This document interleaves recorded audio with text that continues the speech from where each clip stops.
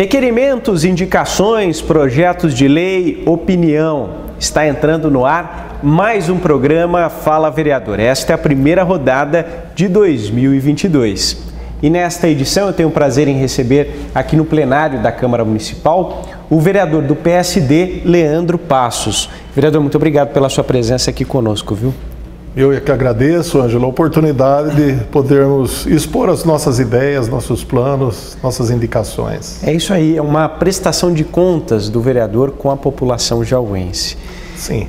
Leandro, a gente vai começar o nosso bate-papo falando de um projeto de sua autoria e do vereador Fábio Souza que foi aprovado recentemente aqui na casa e que proíbe a instalação de albergues noturnos, casas de acolhimento e clínicas para dependentes químicos a uma distância mínima de 500 metros de creches, instituições de ensino, abrigos de idosos e outros estabelecimentos dessa natureza. Eu gostaria que o senhor falasse da importância da aprovação desse projeto. Olha, Angelo, o que a gente percebe, o que um dos assuntos mais comentados na cidade agora nesse momento é com relação às pessoas em situação de rua. Muitos deles que estavam alojados ali no ginásio de esporte Dr. Neves, é, esse, começaram a ficar ali por questão da, da época do frio, na gestão anterior ali, e essa, isso acabou se perpetuando. perpetuando, continuaram ali. E as pessoas, tanto o comércio ali do centro da cidade, a escola, instituto, né, passou a ser palco de, desse pessoal. Estamos todos ali e pedindo dinheiro e incomodando as pessoas. Alguns, a gente sabe, são às vezes agressivos. Então, mulheres, elas se sentem mais intimidadas, porque eles, eh, eles veem a, muitas vezes a fragilidade, isso acabou incomodando, foi isso que nos levou a fazer o projeto de lei lá atrás. Foi nos pedido né, para que adiasse um pouco a segunda votação, para que tivesse um tempo para se encontrar um outro lugar para colocar essas pessoas. E, mas chegamos num ponto em que teve que ser votado, e eu acredito que, como falei na tribuna no, no dia dessa segunda votação, como um, um, membro do legislativo da cidade, nós não temos condições de dar uma solução total para esse problema tão grave na nossa cidade. Mas o que nós podemos fazer é colaborar até certo ponto para que juntos toda a sociedade, todos os segmentos, todos os atores da sociedade possam encontrar um caminho para amenizar mais essa situação. Vereador, recentemente também, em busca de uma solução mais definitiva para esse problema que a cidade enfrenta, o senhor esteve em Brasília para conseguir convênios né, com o governo federal a fim de que amplie o atendimento às pessoas que precisam de tratamento e são dependentes químicos. Gostaria que o senhor fizesse uma avaliação desse trabalho que foi realizado e a expectativa para que é, esse tipo de política seja ampliado aqui na cidade. É, perceba bem, Ângelo, vocês que estão assistindo, o que foi que nós conseguimos de efetivo nesse encontro com o ministro. É, nós temos condições hoje, a nossa cidade, eu acredito que as outras cidades, de posse dessa informação, têm condições de oferecer para aquela pessoa, para o dependente químico, não só para aquele que está em situação de rua, para todo dependente químico que quiser um tratamento, o tratamento gratuito a opção de encontrar uma, uma, uma comunidade, uma casa de recuperação, uma clínica, como chamam, de esse atendimento gratuito. De que maneira?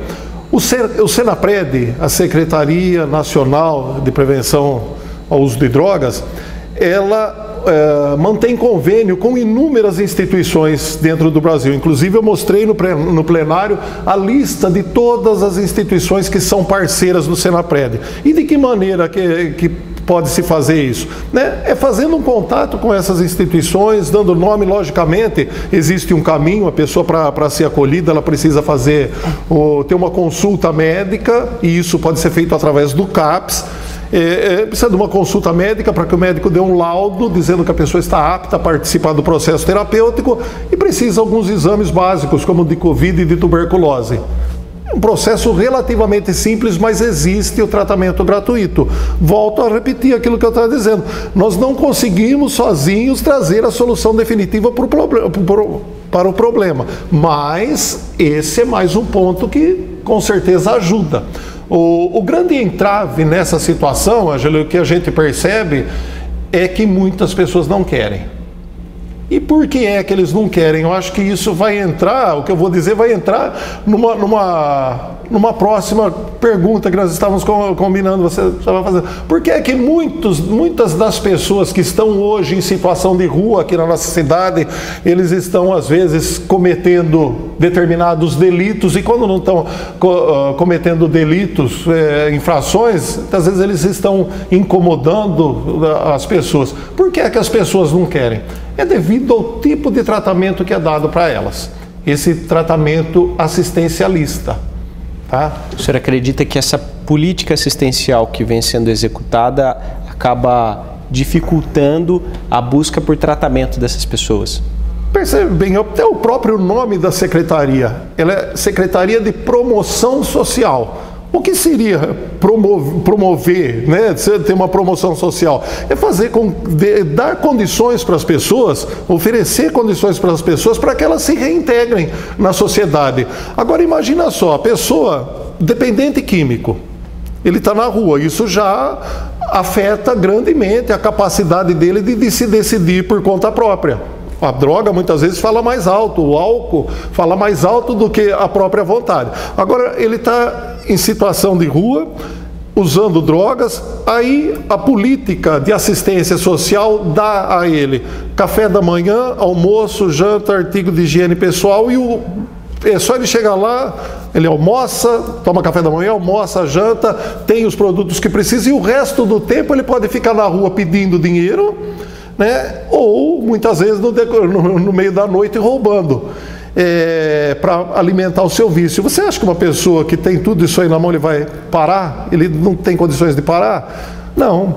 Eu, eu não sou eu contra dar o alimento, de dar, de dar os produtos de higiene pessoal. Muito pelo contrário, até me, me taxaram como amigo do, dos noias, eu não falei que eu não gosto dessa, dessa maneira de tratar e não gosto mesmo, né? mas eu não estou defendendo o infrator, não estou defendendo o bandido, né? e discordo totalmente da forma como são tratados todos. Porque, espera aí, hoje a gente sabe que a cidade, a Secretaria do Meio Ambiente, as empresas contratadas não dão conta de limpar tudo. Chove, o mato cresce, sarjeta precisa ser pintada. Acabei de passar lá no cemitério, estava conversando com o coordenador lá, tem um monte de serviço para ser feito lá. Né? Por que é que a política de, de promoção social não investe para que essas pessoas que precisam disso, bom, você vai ter o café da manhã, mas depois você tem que ir trabalhar num determinado lugar, trabalha, depois ele volta,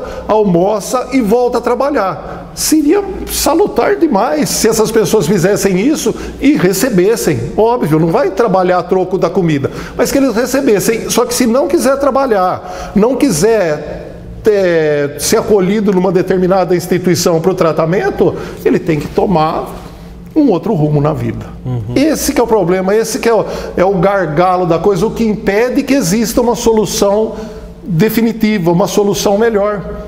Né? Sem contar, Ângelo, que a, o nosso judiciário hoje ele é muito complexo. A lei ela acaba favorecendo, e a gente sabe disso, isso que eu estou dizendo aqui para as pessoas não é novidade, acaba favorecendo essa tal de audiência de custódio. Né? A pessoa é pega em flagrante, outro dia foi falado aqui na tribuna por, por outro vereador, né? a pessoa já sabe, então, são cinco delitos consecutivos da mesma pessoa. Ele é pego, vai para a delegacia, é solto. É pego, vai para a delegacia, é solto. De que maneira que, que vai se coibir o crime? Então, tem as coisas de graça para comer, beber e dormir, não tem que dar nada de volta, né? é preso é sol, e depois é solto. Não vai, dessa forma não vai. Precisa, no, no, no meu ponto de vista, nós contribuímos com pequenas parcelas na solução do, desses problemas, como esse, esse projeto de lei que foi aprovado, como oferecer instituições que podem e, e oferecem o tratamento gratuito, mas de uma outra forma os outros setores acabam não colaborando. precisa uma contrapartida de todos. De todos. Né? Outro ponto que às vezes as pessoas têm dó, não pode dar dinheiro. Quem está dando dinheiro, você está vendo essa nossa fala, eu trabalho com dependentes químicos já há 24 anos. Tá? Quando você está dando dinheiro para ele, você não está matando a fome física dele, você está alimentando o mau hábito do uso de drogas. Há inclusive Evidente. uma campanha né, na cidade para que as pessoas não deem esmola. Ajude não ajudando. Exatamente. É, é, esse, é esse o lema da campanha que o Consegue está fazendo. O Consegue são vários, segmentos da sociedade que estão se juntando buscando ideias. Né?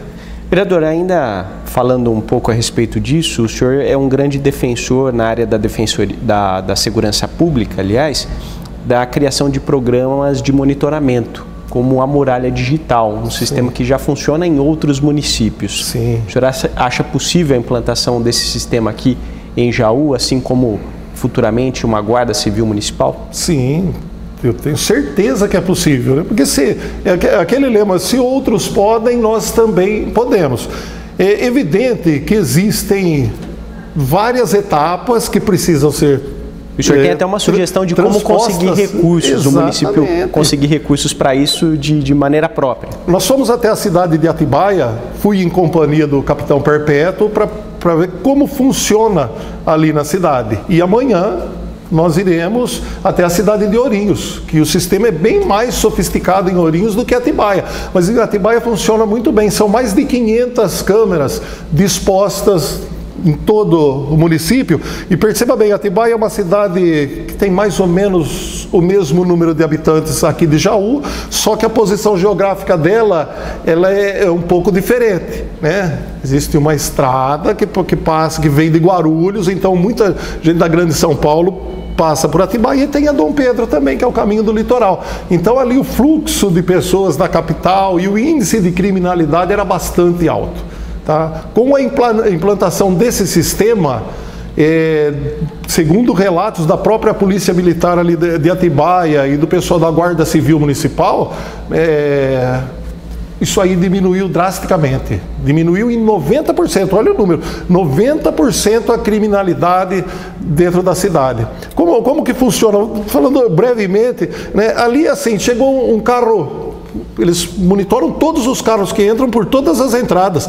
Né? Então, pegaram uma placa ali no carro, automaticamente pela placa do carro eles vão ver se é produto de furto, né? de quem é aquele carro, aí entra, percebe que entra dois carros grandes com várias pessoas dentro, opa, já vão ficar de olho. Já foi impedido vários assaltos antes que acontecesse, foi, é, muita coisa ali aconteceu que impede. Sem contar uma questão que nós fomos lá é, ver uma coisa e acabamos encontrando outra muito mais elaborada, porque a nossa ideia de ver a muralha digital era a questão do trânsito, das, dos acidentes Sim. que acontecem e a possibilidade da implantação de radares na cidade para que possa coibir determinadas infrações de trânsito. Mas o que nós percebemos ali que daria para conciliar as duas coisas, tanto a segurança do trânsito como a segurança do município em si.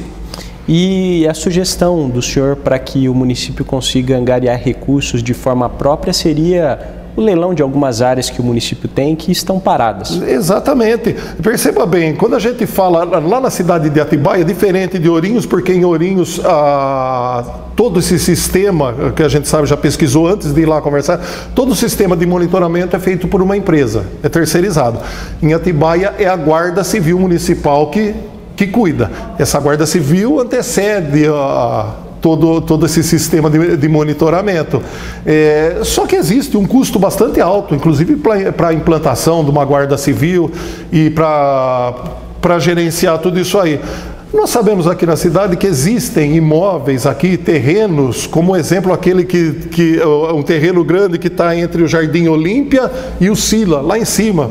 Não sei exatamente a área, mas com certeza mais de 30 mil metros quadrados, que está lá há décadas parado. Por que não leiloar imóveis desse que são, não tem utilidade nenhuma para o município e usar esse recurso para a implantação de algo que com certeza vai trazer um benefício maior para o município? Pois bem, vereador, nós teríamos muitos outros assuntos, mas o nosso tempo já se esgotou. Eu quero mais uma vez agradecer a presença do senhor aqui e abrir espaço rapidamente para suas considerações finais. Eu agradeço pela oportunidade e dizer que para todos que viram essa nossa conversa e tiver interesse em saber um pouco mais do nosso trabalho, o nosso gabinete está de portas abertas. Dentro daquilo que é possível para o legislativo, nós estamos à disposição de toda a população. Esta, portanto, foi a participação do vereador Leandro Passos. Muito obrigado pela sua companhia, pelo carinho da audiência e até o próximo programa.